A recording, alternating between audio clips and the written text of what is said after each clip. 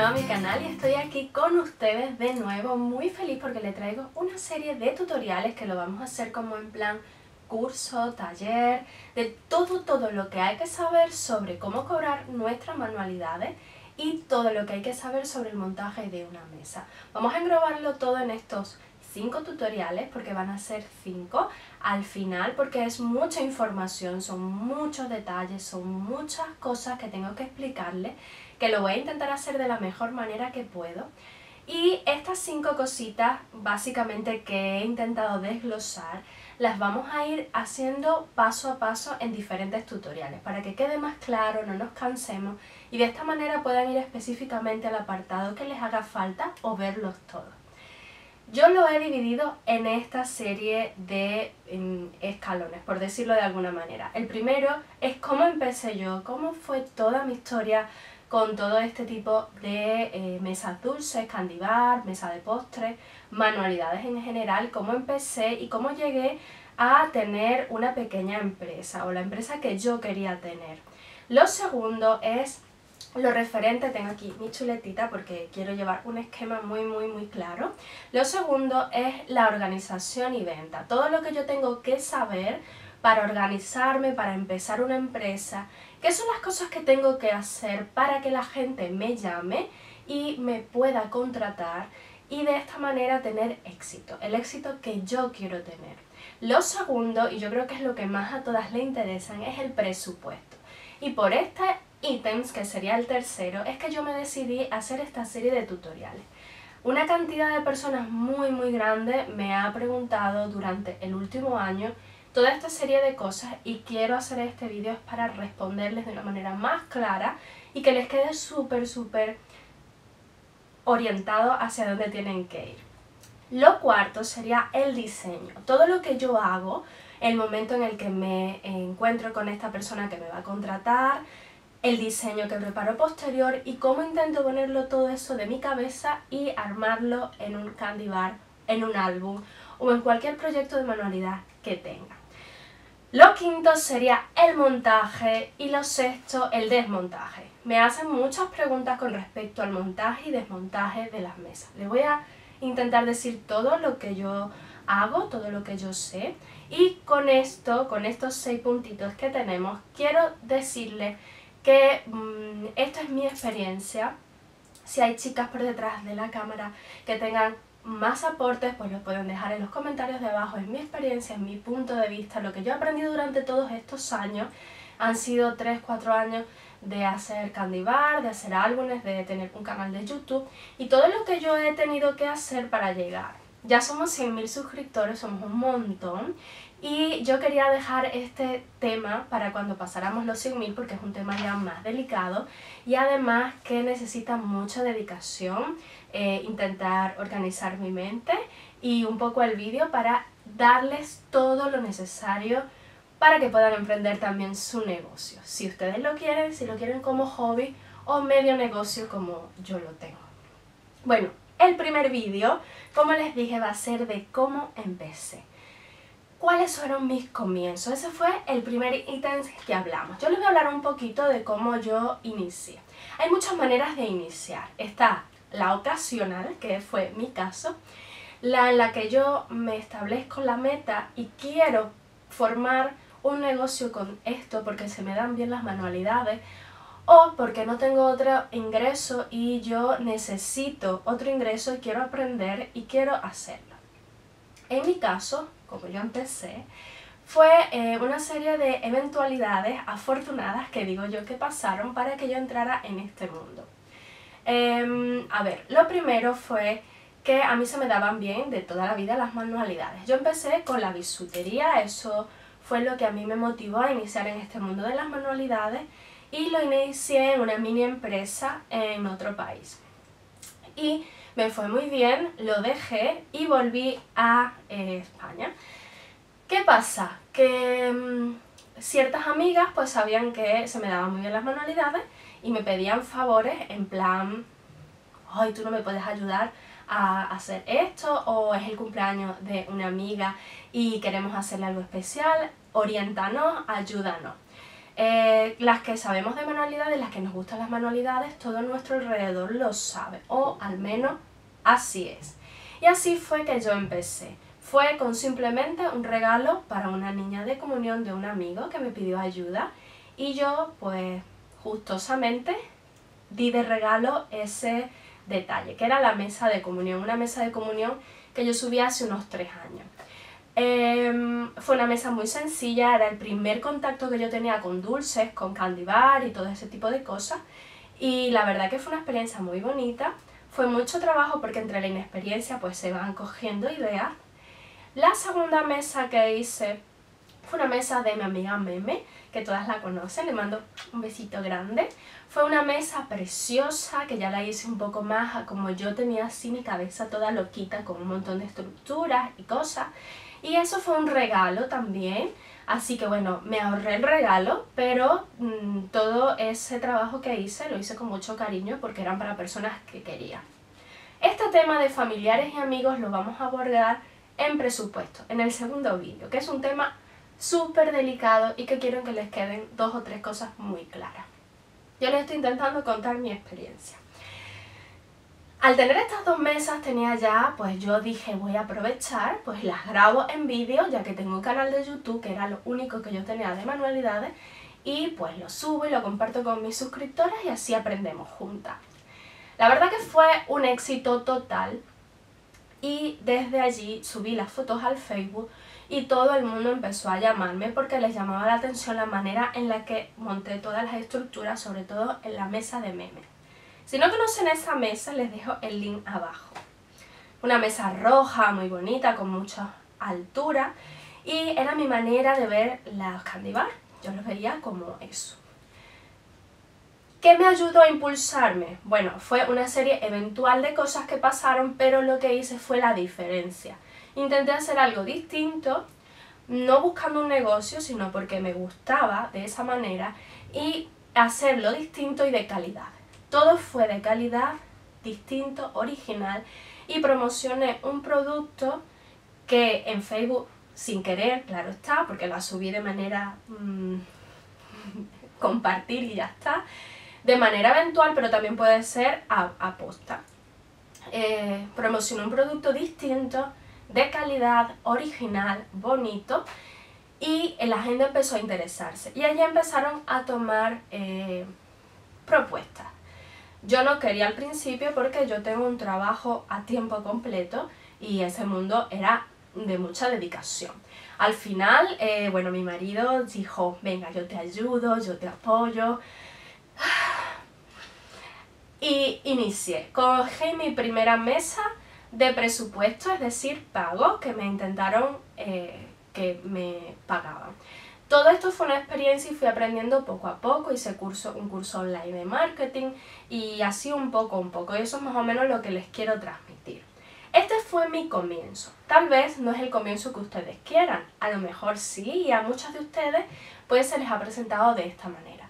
Si ustedes quieren y nunca han hecho una mesa dulce y no se les ha presentado esta oportunidad, o alguien les ha pedido que hagan eh, algo de manera de regalo o gratuita, es una manera muy muy buena de comenzar. Por eso le cuento mi historia, porque es una manera muy buena de comenzar que no nos implica muchos gastos porque estamos ahorrándonos el regalo y damos un bonito detalle.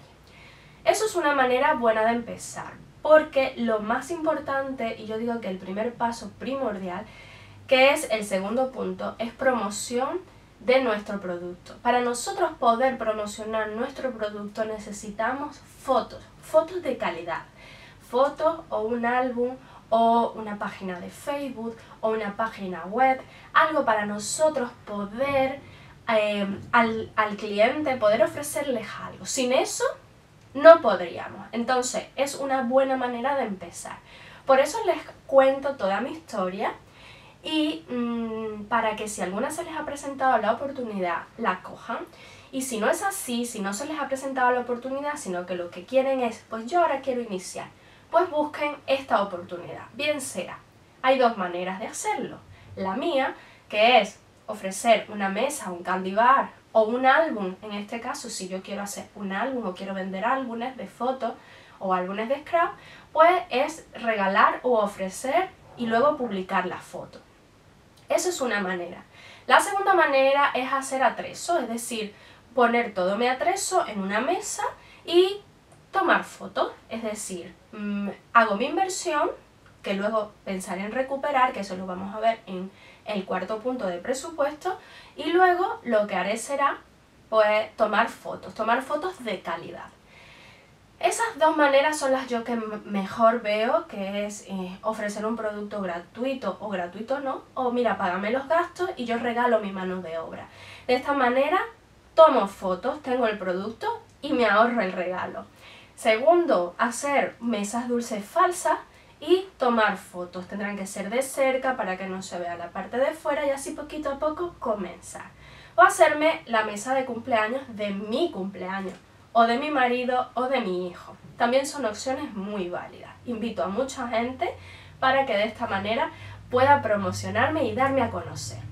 Eso lo más importante, cómo comenzar. Una vez que ya yo he hecho una, dos, tres mesitas dulces, ya yo tengo mis fotos, ya yo puedo iniciar en mi organización y mm, promocionarme. Muy importante.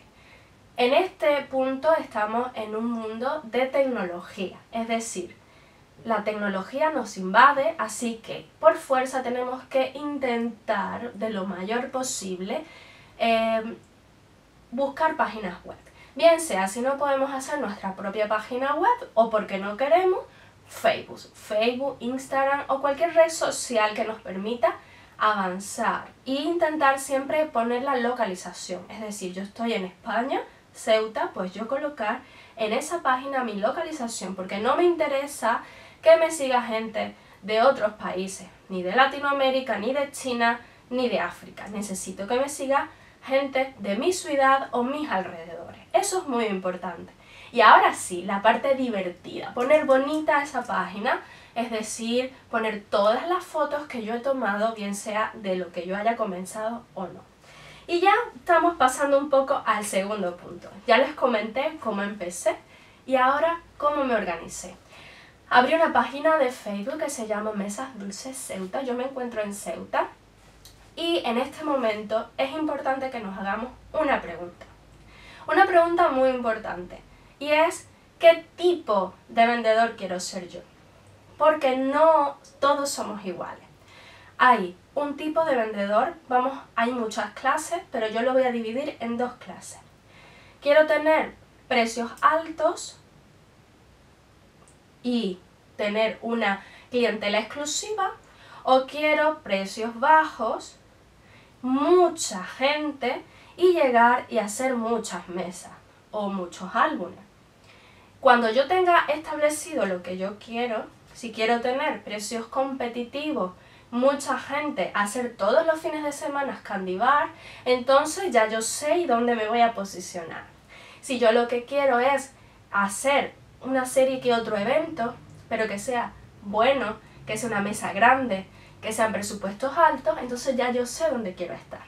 Yo me hice esa pregunta y yo quería estar en pocas mesas y exclusividad. Esa era mi opción. Esa no tiene por qué ser la mejor. Es la que tú quieras, la que a ti te guste, la que a ti te llame la atención. Por mi trabajo, yo no podía tener muchas mesas a poco precio porque no me interesaba, además que no podía, estar todos los fines de semana haciendo candy bar. Yo quería de vez en cuando uno, a veces ninguno, o dos al mes. Ese era mi, mi, mi negocio, lo que yo me quería proponer.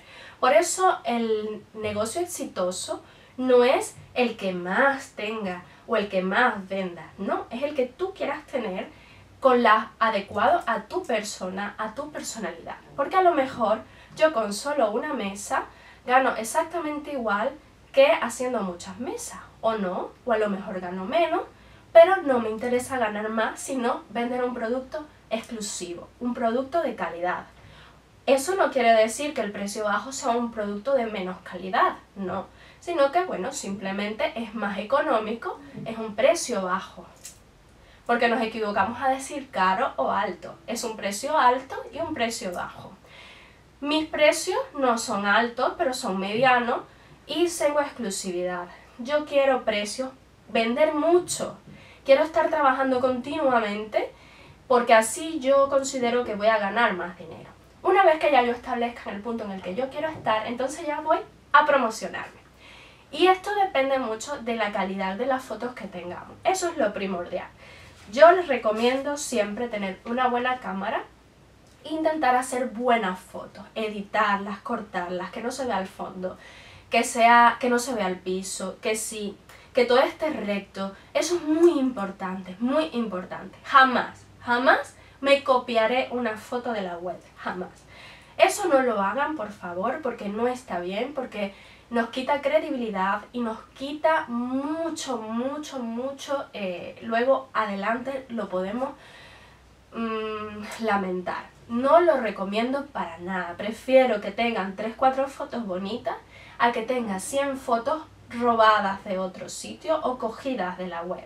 No lo hagan. Si lo van a hacer, coloquen, eh, etiqueten a esa persona a la cual es el dueño de esa foto o el enlace a la página de esa foto o decir es foto cogida de Pinterest o tomada de, la web, ¿vale? No nos tomemos fotos que no son nuestras como nuestras. Eso es mi, mm, una de las mejores recomendaciones que les puedo dar. Eso por un lado, una vez que ya yo tengo mi foto, tengo mi página web, la que yo quiera, luego está el boca a boca. El boca a boca es muy importante. Eh, yo al principio yo nunca gasté en publicidad, yo nunca he gastado en publicidad, pero el boca a boca, hacer las cosas con amor, con cariño, con esmero, con que se note que estamos dándole un buen trato al cliente, es lo más importante. Y ese boca a boca nos va a llevar a más éxito. Al principio no se hago bien, todo irá fluyendo, eh, al principio será pues una vez a cada dos meses, pero ya luego las llamarán y las llamarán más. El tercer punto que les voy a decir sobre promociones es ser constantes, es decir, aunque a mí no me estén contratando continuamente, voy a ir subiendo fotos a la web por lo menos todos los días. Y si no todos los días, día sí, día no, o yo me tengo que poner un límite. Yo todas las semanas tengo que subir una foto, de lo que sea. Así sea pues con una copa de vino bonita o así sea un proyecto nuevo que estoy haciendo, un álbum nuevo, alguna manualidad, algún papel que compré, algo. Tengo que tener constancia, constancia y subir diariamente fotos a la web. Es la única manera en la que las promociones funcionen. Y me llamen porque de esta manera voy impulsando. Cuando ya tengo todo esto, buenas fotos, mi página web, publico constantemente, tengo un buen boca a boca porque tengo buenas referencias y además mis amigos les ha encantado mi trabajo, entonces estoy segura que en un tiempo prudencial van a tener mucho éxito. Este vídeo lo voy a acabar aquí, pero recuerden que nos queda la parte más jugosa. Esto era como una pequeña introducción a lo que vamos a ver en los cinco vídeos que les voy a subir. Y el siguiente punto será presupuesto. Los presupuestos son muy importantes. Y les voy a enseñar detalladamente, detalladamente cómo tienen que hacer cada una de las sumas y todo lo que tienen que incluir en esa suma para que su puesto sea el adecuado, tanto para que su cliente tenga un producto de calidad, esté contento, pero que nosotras también estemos muy contentas y podamos rendir muchísimo más en nuestro negocio, es decir, tengamos ganancias, tengamos esa prosperidad en nuestro negocio. Ese será el punto número 3. Recuerden que hemos en este vídeo tomado el punto 1, que es cómo yo empecé, el punto 2, que era todo lo que es promociones y venta, organización de mis redes sociales, y en el tercer punto vamos a ver el presupuesto, que es la parte más jugosita.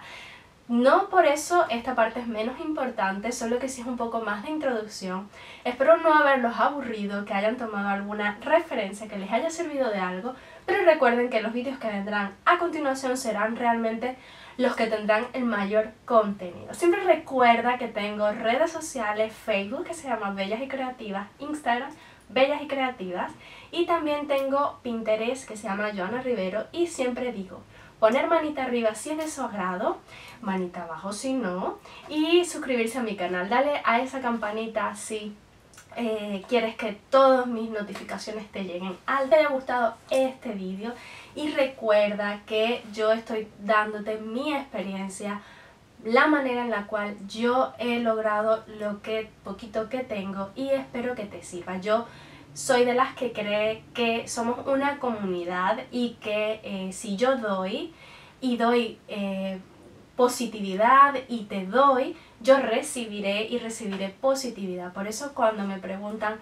¿por qué haces estos vídeos en los que dices tus secretos? No son secretos, esto lo saben muchas personas y yo simplemente en mi experiencia he intentado acumularla e intentar transmitírselas porque para mí eh, somos una comunidad, si todas crecemos somos mucho más prósperas y yo estoy segura que todo lo que yo les doy lo recibo. Así que ante todo eso, vos ser positivo y dar porque seguro, seguro que recibirás. Te mando un beso grande, grande, grande, grande, grandísimo.